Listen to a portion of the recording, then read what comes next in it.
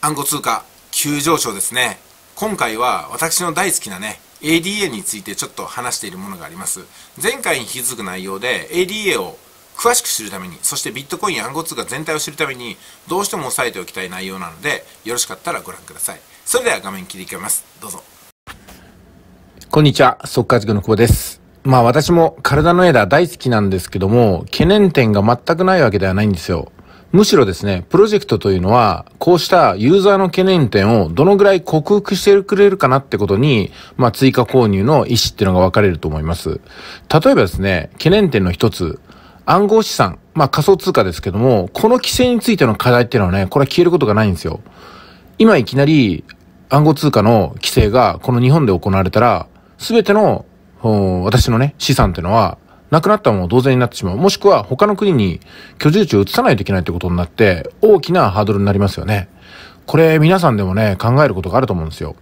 仮想通貨への規制は各国で大きく異なっているんですけども、日本は仮想通貨の規制が比較的進んだと思います。ルールを守りながら、こういった暗号通貨を利用しようという、そういうふうな姿勢ではないかなと思います。まあ、ですので基本的には、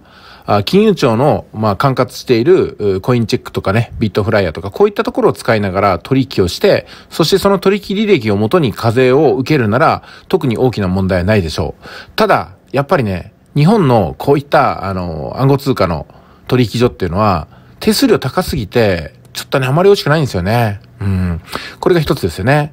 で、中国とか韓国はどうなんでしょうか？仮想通貨への規制はかなり厳しいです。特に中国は、この暗号通貨を持ってるだけで、まあ、重罪になったりね、時には、まあ、極刑になったりするのかもしれませんし、その辺詳しくはわかりませんけども、基本的にはちょっと取引がなかなかできないっていう方向ではないかなと思います。こういった禁止ですとか、暗号資産取引所の廃止など、こういうのが目立ってますよね。まあ、しかしですね、暗号通貨の規制は必ずしも価格の下落につながるかどうかっていうのは、昔のようにはね、数年前のようには限らないんですよ。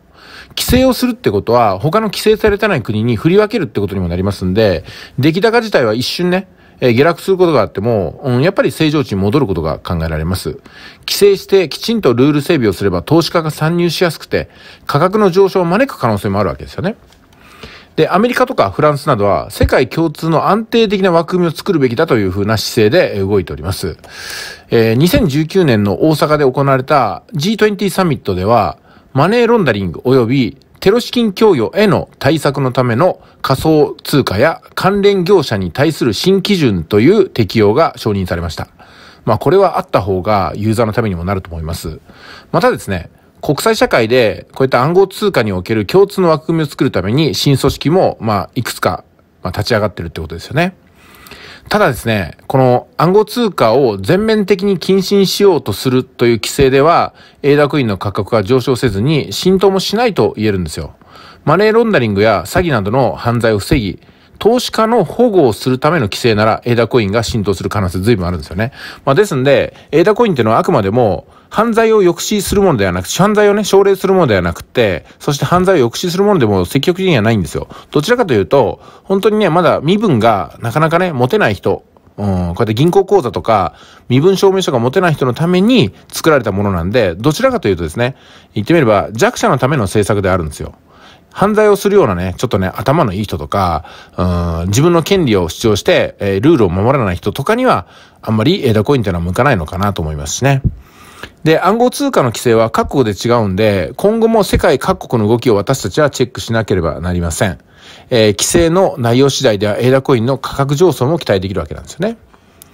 で、次なんですけども、やっぱりね、セキュリティについての課題ですね。これはダイダロスをはじめとする鎧という暗号通貨、特に ADA に関係したところでは、かなりね、信頼が起きるんではないかなと思います。うん。で、暗号通貨を支えるブロックチェーン技術は不正や改ざんに対する耐性が強くて、セキュリティは大変高いと言えるんですが、でも今までもね、あの、コインチェックの盗難騒ぎとかありましたし、うん、まいろいろとね、問題あるんですよ。で、イーサリアムのプラットフォームで開発されていたスマートコントラクト、DAO にバグが発見されて資金の3分の1以上に当たる52億円が盗まれるという事件も起きてますよね。またビットコインの51%問題も忘れてはならないところです。これは特定のグループが全体の51%以上のマイニングを行うと、不正取引も承認できてしまうという問題なんですよ。要するにですね、分散型のプラットフォームなんで、暗号通貨ってのは。多くの人がこれはいいんじゃないのって認めたらそれは通ってしまうんですよ。不正であっても。まあ、ですんで、中央集権ではなくて、分散型でですね、ユーザーのみんなで認めていきましょう、否認していきましょうっていう、そういった暗号通貨では、じゃあ過半数の人がね、不正を扱う人が過半数に参入してしまったら、その通貨は、いかようにもね、うん、いいも悪いもなく運用されてしまうってことなんですよね。ただ、現実的には特定のグループが51%以上のマイニングをすることは不可能とは言われています。うん、ただ、警戒しないといけないっていうところでは、うん、この辺は無視できないかなと思いますよね。で、マイニングは個人参入が困難で、業者が組織的に行っているっていうのが現状なんですよ。で、マイニングでビットコインを獲得するためには、性能の高いパソコンを何台も揃えて、設置場所、もう膨大なね、土地がいるんですよ。電気代とかもかかりますしね。そういったものを確保する必要があります。コストを考えると、うん、この計算処理を51%キープするっていうのはメリットがほとんどないのかなって言えるんですよね。で、取引所の安全性なんですけども、この辺にもね、やっぱり今回は注意を喚起したいと思います。暗号通貨の取引所っていうのは、ハッキングや詐欺などの問題をいつも抱えてるんですよ。え、過去にビットポイントっていうところはね、ハッキングにあって35億円相当の暗号通貨が不正に流出してしまいました。あの、バイナンスもですね、ハッキング被害で44億円のビットコインを失ってるんですよね。で、ご存知、コインチェックは史上最大580億円というね、巨額のネームを盗まれてしまって、未だに帰ってきません。まあ、他にも複数の取引所が不正流出や盗難にあってるわけなんですよね。各取引所は当然ながらハッキングや盗難を防ぐ対策を始めてるんですけども、100%安全と言える対策っていうのはね、まだまだ遠いわけなんですよ。極力100%に近づくようにセキュリティ対策を続けるしかないというのが現状です。まあ、例えば銀行では昔よりも強盗の数が減ってるんですよね。金融機関の防犯対策が強化されたために、昔に比べると銀行強盗は割に合わないってことになってきます。まあ、日本でも銀行強盗ってドラマの中でも聞かなくなりましたよね。えー、取引所のセキュリティ対策が強化されればハッキングは詐欺や割に合わなくなってきて減少するかもしれないですよね。要するに犯罪を犯すほどの、リスクを犯すほどの旨味がないと思えれば犯罪にはならないってことなんですよね。はい。ではもうちょっと、問題を深掘りしていきましょうか。ちょっと難しいですよ。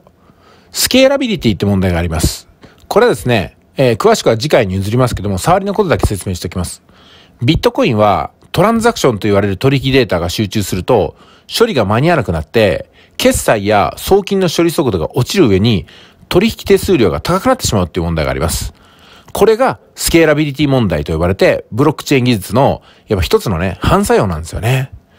ビットコインっていうのは、ワンブロックの上限が1メガバイトであるために、すぐにブロックの容量が満タンになって、データの処理速度が低下してしまうっていう問題があります。